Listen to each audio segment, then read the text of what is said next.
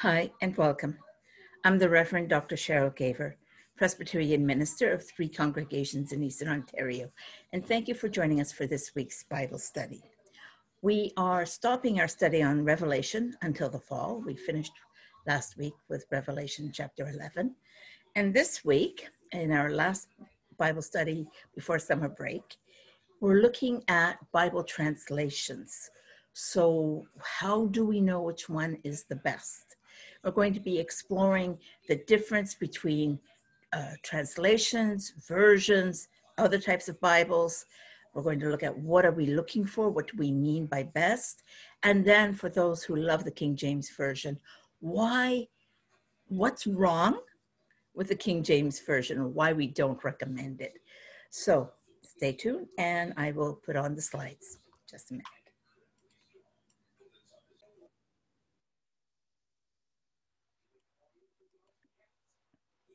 So those are our three topics. So now before we start, some very basic facts. The Bible was not written in English. Jesus did not speak King James English. So the King James Bible is not the original Bible. The Old Testament was written in Hebrew and Aramaic. It's written over a span of a thousand years. And the Aramaic, yes, that's the language that Jesus spoke, but the New Testament is actually written in Koine Greek. So if you're talking about the original manuscript, uh, we've got two different manuscripts. One, sort of the official Old Testament, and the other is the official New Testament. And uh, there may be many contenders for this. What is the original? What is the authoritative? Uh, that's a good question. Okay, so yes, whenever we're talking about uh, Bibles today or reading Bibles in English, we are in fact talking about a translation. But we rate some of the different translations. So one of the things is, is it done by one person? And that we tend to call a translation. It's done by one person. Now, maybe there's a committee in the background, but it's one person's name that's a, associated with it. And if it's done by one person, you're relying on his or her knowledge of the original language. So if they're a Greek expert, how well do they know Hebrew? If they're a Hebrew expert, how well do they know Greek? So very few of these translations are of the whole Bible.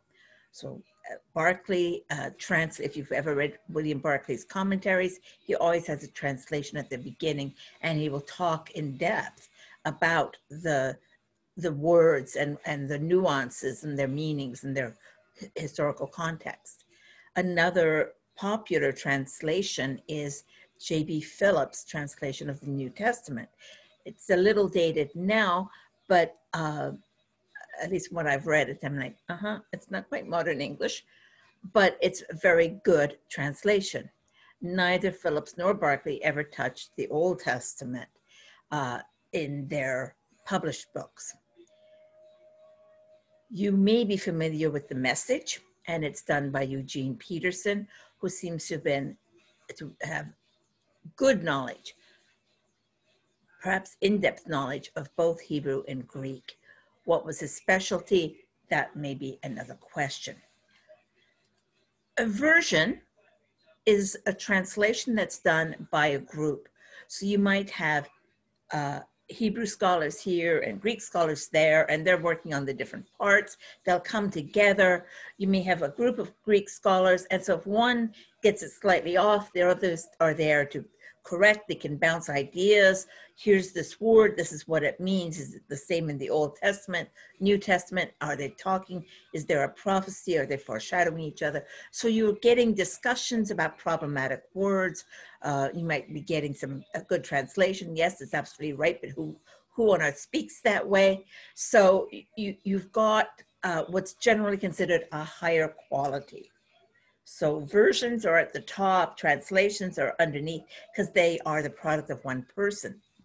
Then we have a whole other group of Bibles, and these are not uh, I, uh, I would say they're not necessarily reputable Bibles, but they're not disreputable either. It's, their purpose is different. So if you have an interlinear Bible, for example, you'll have a line of Hebrew and then the English, or a line of Greek and then the English. As you've got one per one, you see exactly what's going on. That's really great when you're studying it, but it probably doesn't make good sense in English because it's following the Hebrew or Greek uh, rules of grammar or sentence structure. If you have a picture Bible or a children's Bible, it's not trying to be, you know, a mastermind, uh, masterful translation. It's trying to tell the story in a way that this audience can understand. And they do it very, very well. They are teasers. They're there to grab your attention, grab your interest, so that in time you'll want to read the fuller account.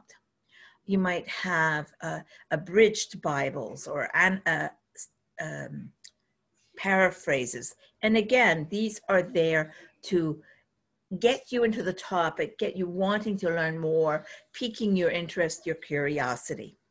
You have annotated Bibles and study Bibles. Well, actually, if you opened it and you would look, it would tell you most likely that it is this translation or that version. So the text itself is of an already recognized translation or version, but the notes, which is what's famous for the annotated or study Bible, is what they have focused on. So they're saying, here's our text, and we're using this text to base all our comments and studies upon. And so, yes, they're very good. Uh, and some are better than the others, and they may reflect different theologies and things like that. But if you look again, what is the translation of the Bible they're using? It's either a version or translation. They're not doing it themselves. They're not going back to scratch.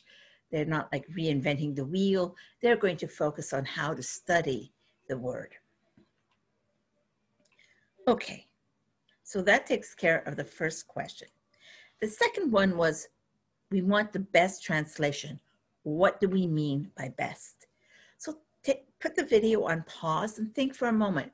What do you mean? What are you looking for when you say the best translation? And when you're ready, come back. So one of the things is accurate. We want the most accurate, the one, the one that really captures the essence of the original text. Well, there's ways, several ways we can do this. One is word for word, such as in the interlinear. Hmm. But that may make it harder for us to actually understand. we might go idiom for idiom, which is a little bit better than word for word. And we might talk about understanding as originally understood or uh, dynamic equivalence as uh, one person wrote it uh, or titled it, and um, thought by thought. So any of those things. We're trying to capture that essence. The other thing is who's the audience? I've already hinted at that. If it's for children, you'll want something that's easy for them to understand.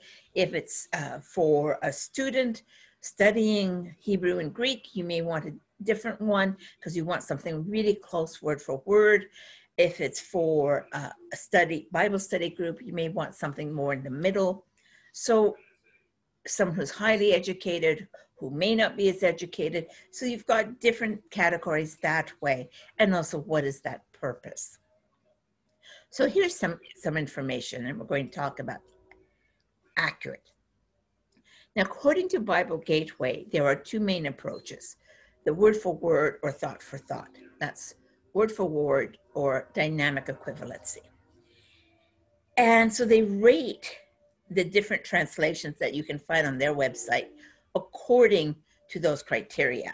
So the interlinear is, you know, at as basic as you can get. You're going to see, you know, what each Greek or Hebrew word means and English equivalent. But it's not going to be in English sentence form.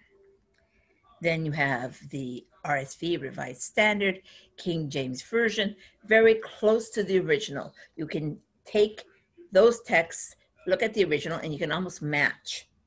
Okay. The new RSV, the new King James is here. So it's all here. In the dynamic side, where you almost going to do a paraphrase, uh, you'll end up with the message, the living, the Good News Bible. Those are the three that I like. and they aren't paraphrases, but they are translating um, the essence of what's being said. And we'll see that a bit later. Then in the middle, you've got Bibles that are trying to find a balance in between the two. And that is the most famous right now is the New International Version. Okay. So there gives you that continuum. Which is the best?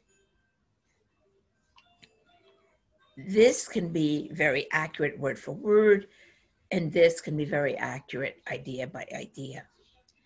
Um, so it's really hard to say. It's what you're looking for. Now, to give you some examples, Le Bureau des Affaires étranges. Okay, so if I go to a dictionary and you know, just Google it, and I will see le is the, de is of. So bureau is desk or office, um, and affaire is, is um, d'affaires is a businessman. So affaire is business, Étrange is strange, and it could also be foreign. So I can translate it word for word, literally, as the desk of strange business. And if you try to say that in Canada, uh, people would look at you very strangely because that's not what this means. All right, I could go the desk of foreign business. Um, okay, or the Office of Foreign Business. People would still find it hard to direct you to the right department in the government if, the, if you, that's how you translated it. In French, it's Le Bureau des Affaires étranges. In English, in Canada, it's the Department of External Affairs. So external is outside of Canada. In the States, the accurate translation of this is the State Department. So it's like, what? Okay, bureau and department, I can get that. But affaires doesn't mean state. Well, yes, it does. Because if you're talking about this department and government, the American equivalent is the State Department. And there you see this the problem of translation. Word for word, you can be very accurate, but what it was was a department in the government, and the English equivalent is this in Canada and that in America. So it, it's a really good way of figuring of seeing what the problem is. When you get into Hebrew, the first word is Ben Adam, son of man, Bar Adam in Aramaic. But, and so you see this phrase in the Old Testament and you go, oh my God, it's a messianic prophecy. It's referring to Jesus. Uh, no, not always, because actually it's a phrase that means human being. Hmm. You know, part of a human being not Son of Man, Messiah at all. To get a maybe a better sense of this, in his uh, series on Narnia, C.S. Lewis refers to um, the, the heroes as sons of Adam or daughters of Eve. It's, it's a way of saying a human being. And so you'll have translations um, that will recognize this, and they, they may not say human being. Uh, I believe some will say, when they're talking about Ezekiel chapter 37, you'll see it might say mortal man. it's sort of a, a way of trying to capture the poetry inherent in the Hebrew. So mortal man do this. Other translations will have son of man, and some will capitalize, some won't. We know what the original says. We know what it means. The problem is, what does it signify? Is it referring to human beings, or is it becoming this title, the messianic title? Because we see that transition. Remember, the Hebrew Old Testament's written over a thousand years, so we get to see some of the developments. How an ordinary phrase here may suddenly seem more like a title over here. There's been a shift in development. And so we're starting to get into these arguments over the word and its meaning in the original context. How do we translate that into English? Ha'il is a different character. It's one where the word is very clear, the meaning is very clear, but because of our own biases, we cannot accept what it says, and so we change it. So the word occurs in Hebrew in the Old Testament. I can't remember now if it's 42 times or 142 times. I think it's 142 times. It refers generally to man or God. So males or God. And it's always translated as powerful, valorous, uh, or valiant, you know, brave, courageous, strong, powerful. Four times it refers to women. And it's translated as virtuous, good, capable. Why? The Hebrew doesn't distinguish. It's basically saying a powerful woman or a strong woman.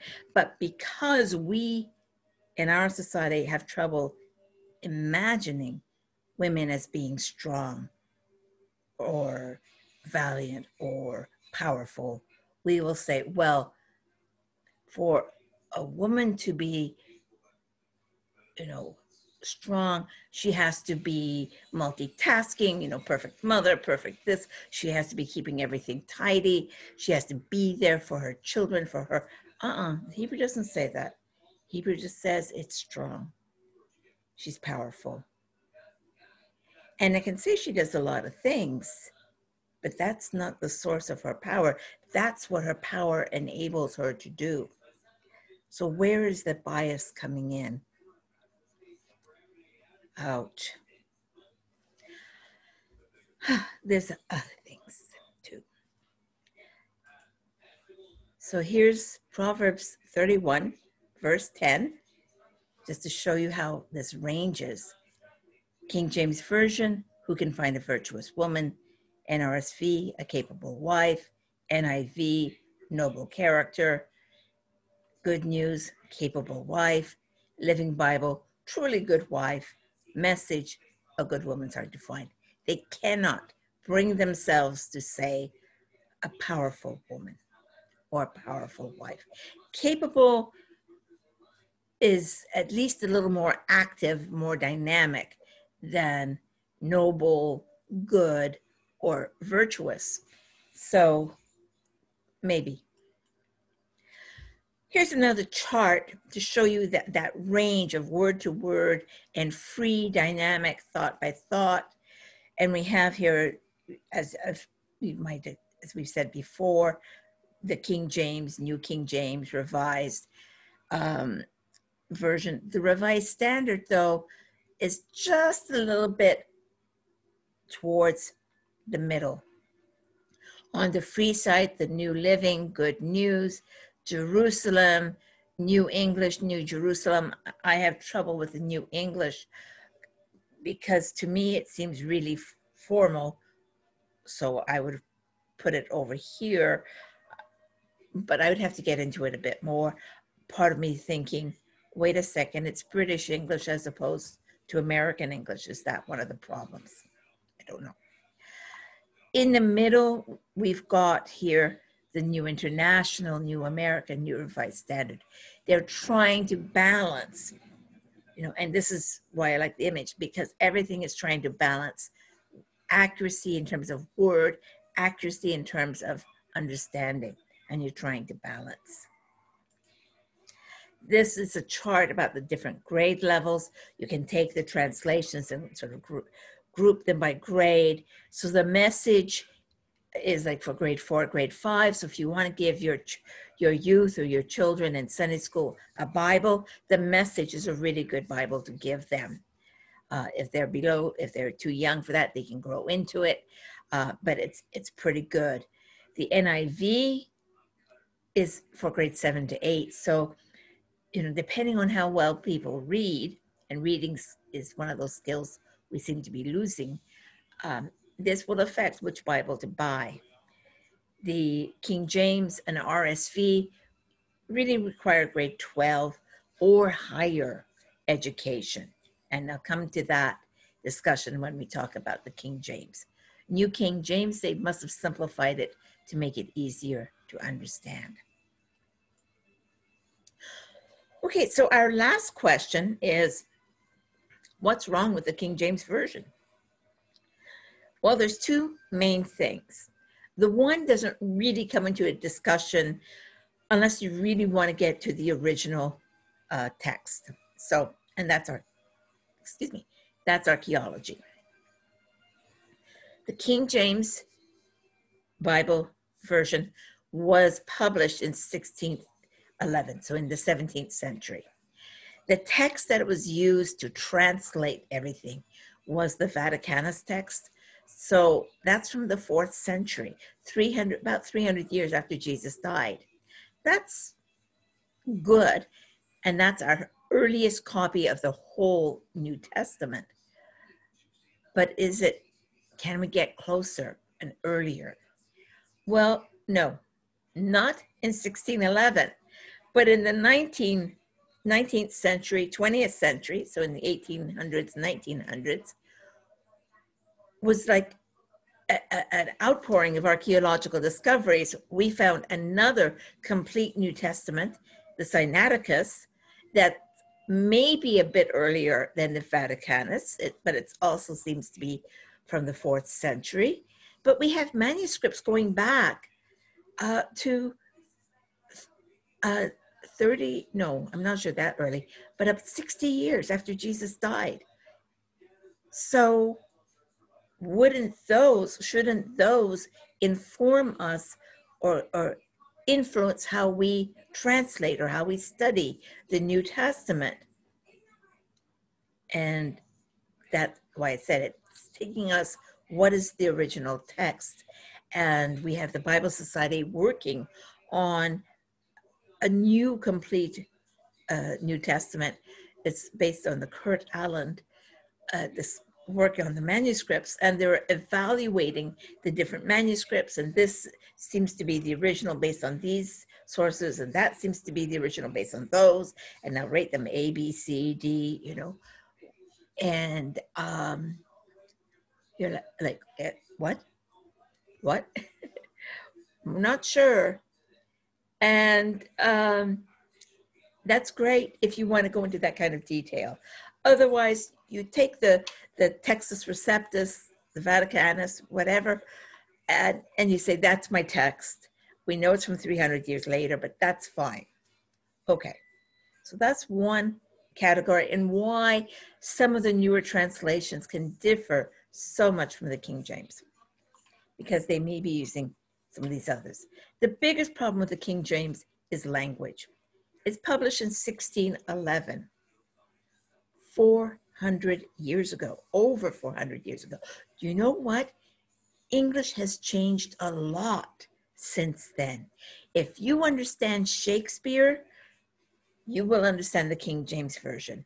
If you struggle to make any kind of sense out of Shakespeare, stay away from the King James because you'll struggle even more. Okay, so words have changed meanings. Verb forms have changed and you could take some uh, if you just think he maketh me to lie down and you go what he makes me uh, the passive it is written paul writes you have that thing. We don't like the passive form anymore. We want the active form. Biggest thing, short sentences. King James English, they had long sentences. They're declaiming, uh, they're proclaiming truths, and it goes on and on and on. And you have uh, coordinate clauses, subordinate clauses, that direct objects, indirect objects, subordinate clauses, modifying indirect ob.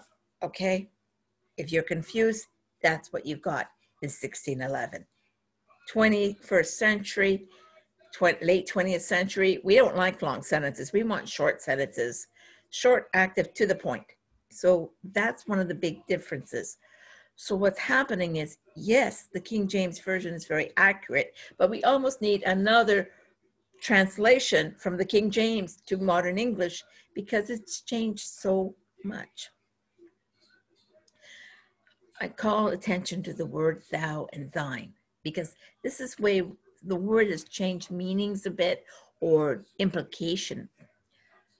So in our prayer, our Father who art in heaven, notice this, who art, instead of who is. Our Father who art in heaven, hallowed be thy name. Thy kingdom come, thy will be done. Thy. It sounds rather regal, doesn't it? Formal.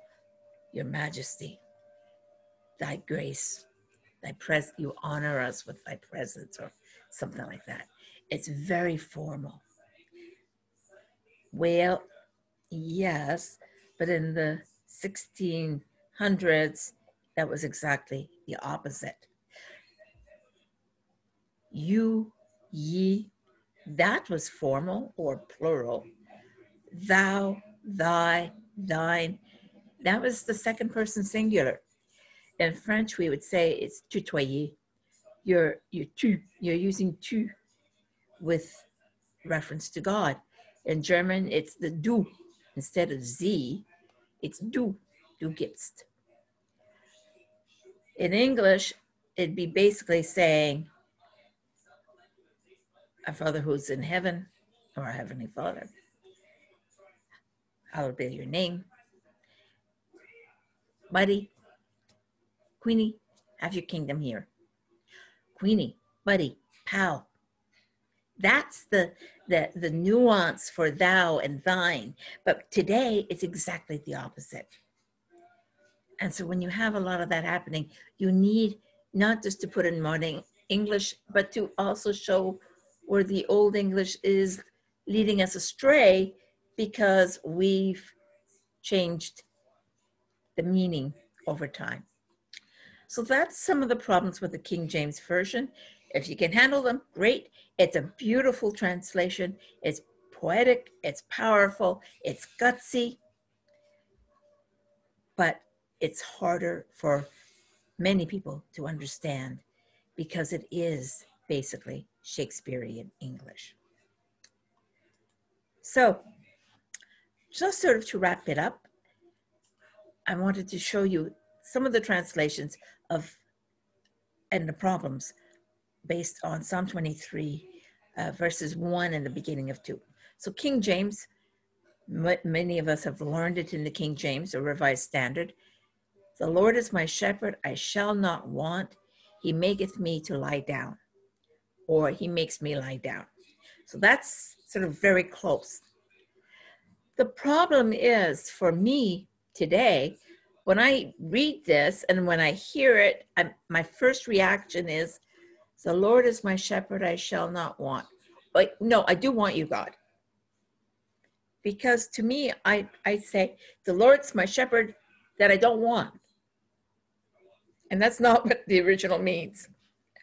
I don't want you, God. Hmm.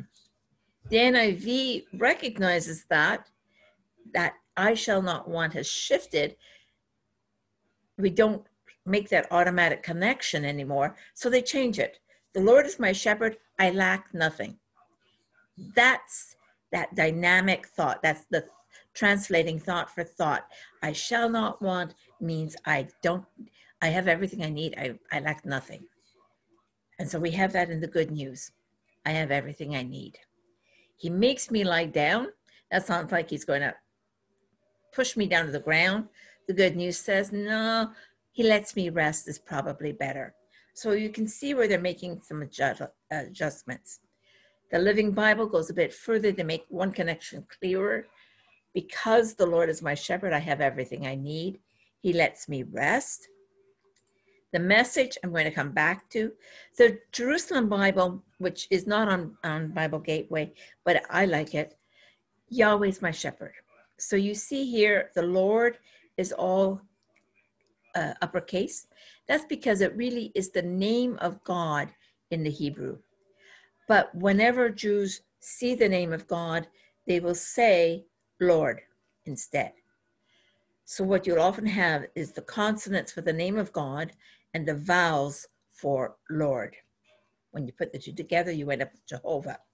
Another, another uh, lecture. But we think the name of God is Yahweh. So the Jerusalem Bible said, okay, it says Yahweh, let's just put Yahweh there, even though every Jew would have read the Lord. I lack nothing. And the interesting thing with Jerusalem is they, they got that translation, he lets me lie, and they're trying to say, but this is poetry in the Hebrew. Can we make it into some kind of poetry in English? And they, they do, I think, a very good job. So what they did, instead of he makes me lie down in pastures green, it's in meadows of green grass, he lets me lie. So that you've got some kind of that, that balance. Um, one, two, three, four, five, six two, three, four, one, two, three, four, one, two, three, four, five, six. So you see that parallelism? Six and four in the line one, six and four in line two, and automatically you've got this poetry. The message changes it quite a bit. So God, my shepherd, okay, I don't need a thing. You've bedded me down. Now, bedded me down sounds like something you do to a horse. So I really don't like that phrase. But the biggest problem is they've missed a transition that's in the Hebrew. And for me, when I do funeral services, I build on that transition. And I can't use the message because it won't let me build on it. And so let me show you what I mean. The Lord my shepherd, he makes me to lie down in green pastures. He leads me this. He restores my soul. He does all sorts of things. Everything I know about God, everything I've learned about God over the years from Sunday school, from sermons, from Bible studies, I have all this information about God and I believe in Him absolutely. But when I go through a crisis, yea, Though I walk through the valley of the shadow of death, I fear no evil, for thou art with me. When I go through a crisis, when something knocks me off my feet, what do I discover? I discover God right there, right beside me, picking me up and holding me. He's no longer this information I've learned about in school. He's now someone real who is right with me in my pain and that transition from objective learning, learning about God, believing about God and believing in God, to now being knowing God, encountering God, is really, really powerful. And when you read the Psalms, you will often see that break. So even Psalm 22, my God, my God, why hast thou forsaken me? And it's all these things where you feel abandoned by God, and suddenly you've got that transition and you have God's presence, and it's, it's powerful. Here, you don't have a transition. You're right up there with God. Hey, God, you, right from verse 2, verse 1.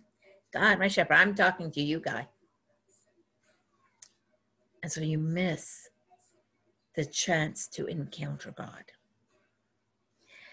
So, yeah, I don't like that one. Okay, so now that you've heard everything, can you decide which translation is best? It's the one you understand. It's the one that makes sense to you. It's the one that comes alive for you, the one that makes you want to read more. That's the translation that's best for you. If you want to try some more passages, here's something I gave for homework for the people in our study group was look up some of these passages in different translations, see which ones you like. Don't be afraid at mix and matching.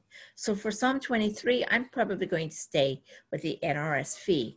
For Psalm 139, I'm going to stay with the Jerusalem Bible. For some of the others, I may stay with the Good News or the NIV. It, it depends which ones speak to me at those things. So that's it for today. And thank you for joining me. So once again, I'm the Reverend Dr. Cheryl Gaver, and thanks for joining us. This is our last Bible study until the fall. So we'll be back uh, we've got some sessions already scoped. We're going to do a couple of weeks on the time frame of the Bible. So one week on the Old Testament, one week on the New. So how it came to be, just very, very briefly. And then we're going to do a, a one week anyway on angels.